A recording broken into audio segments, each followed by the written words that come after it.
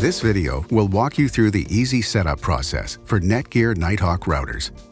While your Nighthawk router may look different than shown in this video, the installation steps are essentially the same. Each Nighthawk router includes a network cable, power adapter, and quick start guide. To install the router, position the antennas. Disconnect your old router from the modem, then unplug your modem from the power source. If your modem has a battery backup, remove it. Connect the modem to the Nighthawk router with the included yellow Ethernet cable. Plug one end into the modem and other into the yellow Internet port on the back of the router. Plug the modem and Nighthawk router into your power source.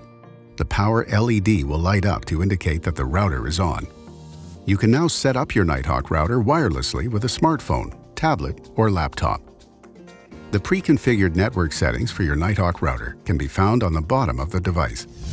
Find the unique network name in the list of available Wi-Fi networks and select it. Then type in your unique network key to connect to the network.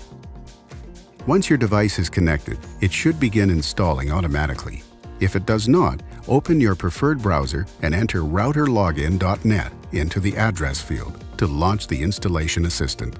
The assistant will first detect if there is an existing gateway or router in your network we recommend that you select the Help Me Choose option so that the assistant can suggest the best operation mode for you.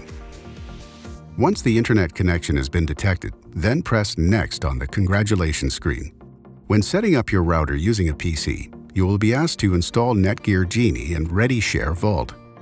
We recommend that you install these to have all the tools required to maximize your network. The Firmware Update Assistant will detect if a new firmware is available. If new firmware is found, select Yes to download it.